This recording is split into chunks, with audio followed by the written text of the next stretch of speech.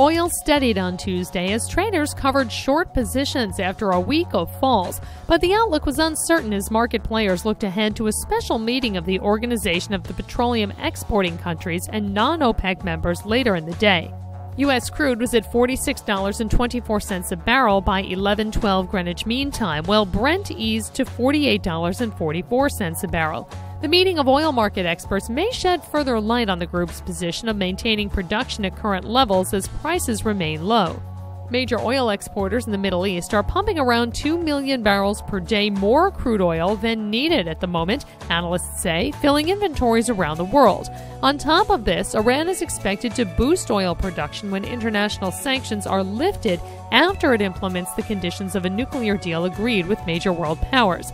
Investors are also worried about the world economy and its impact on oil demand as growth in China slows.